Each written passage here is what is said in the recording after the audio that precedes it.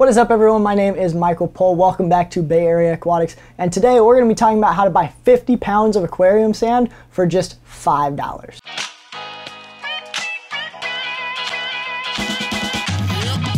So as most of you guys know, the aquarium hobby can start to add up quite a bit. You get little bits and pieces here and there. By the time you start buying and buying and buying, things add up. So we're always looking to cut corners when we can while maintaining the same quality. I personally like sand for my substrate, not because it's easier to clean, it's actually a little bit harder to maintain, but I think it looks way better than gravel in most situations. My biggest problem with sand is that at an aquarium store, a five pound bag of aquarium sand is gonna run you like six or seven dollars. That means to fill up a 37 gallon like this, you're gonna spend 15 to $20 at least on sand. If you're doing a bigger tank, you're gonna spend even more than that. Well, luckily there's a couple of pretty easy ways to save money on a couple different types of colors of sand. The first is being pool filter sand.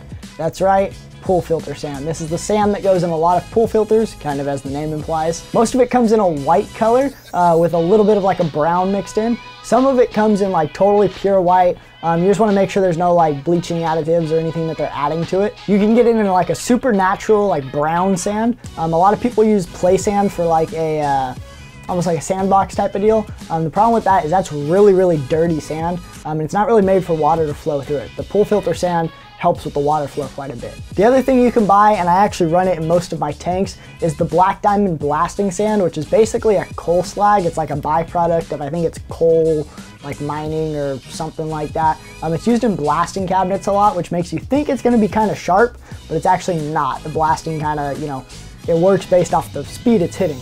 Um, but I run it in here, it just looks like black sand. It's cheap. Again, it's like five or six dollars for a 50 pound bag. I buy that at Tractor Supply. Um, a couple of other places have it, but blasting material usually is okay in aquariums. I've had things like Cory cats and stuff on it too. It works great for them. The sand I'm gonna be doing today for my new aquarium is pool filter sand because I wanted more of a white, you know, natural type of sand look for this aquarium. Oh, this is heavy.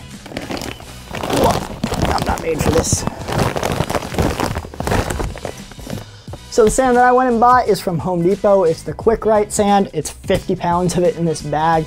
Um, it's a fairly, I can get it out without spilling it everywhere. Not really. It's a fairly uh, white colored sand. There's a little bit of a natural color in it. Um, the one thing you want to watch with buying these type of sands though is they tend to be fairly dirty. Um, they're not like covered in mud dirty, but you definitely want to wash them. You want to wash all of your aquarium substrates, but this stuff you definitely want to give a good washing to. Now there's a couple ways to wash your aquarium sand. What I like to do, I like to fill a five gallon bucket about a quarter of the way up. Then I go ahead and drop a hose in. I like to bury it in the sand a little bit and turn that hose on. Put that bucket on like a grass field or like a piece of gravel or something, or not a piece, but you know, plane of gravel, um, something where water can overflow onto it and you can kind of step on and grab it. And I let it sit there and just run in the bucket. Run and overfill, overfill, overfill. You're gonna have a lot of cloudy water. Once that water gets clear, you're gonna wanna stir it up again. Once you get to the point where you can stir it up and the water's clear and overflowing, even when you're stirring it, that is pretty much clean enough to use in your tank. You're still gonna get a little bit of cloudiness when you pour it in. Um, I like to run polyfill in my filters. It'll settle after a little bit, um, but I usually pour it into the tank, stir it up a little bit, um, let the filter take it out. Once you've cleaned your sand, you're pretty much good to go to add it to the aquarium. Like I said, you might get a little bit of a cloudy water, but it's nothing a little bit of a polishing pad can't handle. I hope you guys found this video useful. Like I said, it's an awesome way to get a lot of sand for a very cheap price and help make this hobby just a little bit cheaper.